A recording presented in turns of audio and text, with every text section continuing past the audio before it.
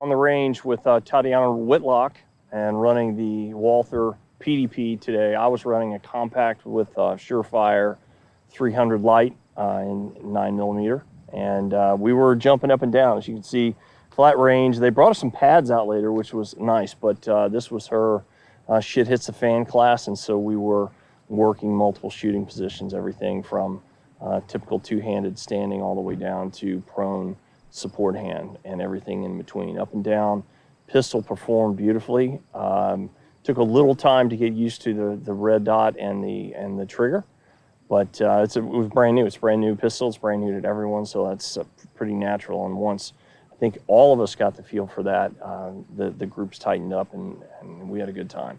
It's a lot of fun. Um, no failures, no malfunctions, no no uh, failures to feed or extract.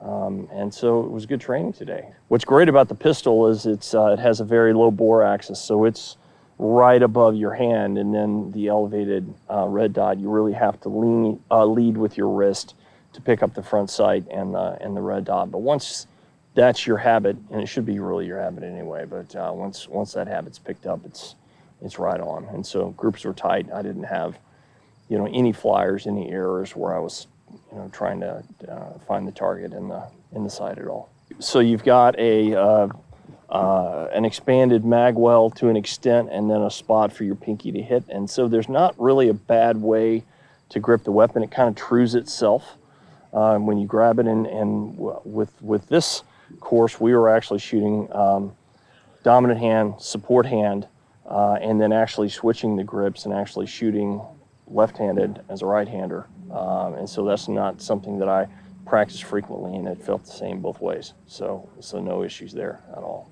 I, I have a lot more red dot time on a carbine than a pistol, um, so it's I'm still adjusting to the, a different kind of presentation to get the red dot in front of my eyes. But uh, um, that's not a function of the sight or the pistol. That's of my training experience. So.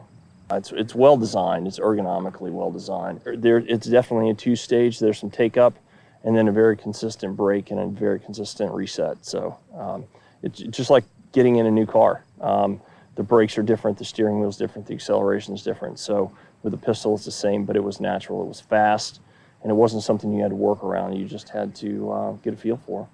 No, it, it, it ran um, very similar to um, the new Striker fired SIGs or Glock. If that's what you run, this this pistol is going to feel just as natural. There's not going to be any any sort of training curve at all.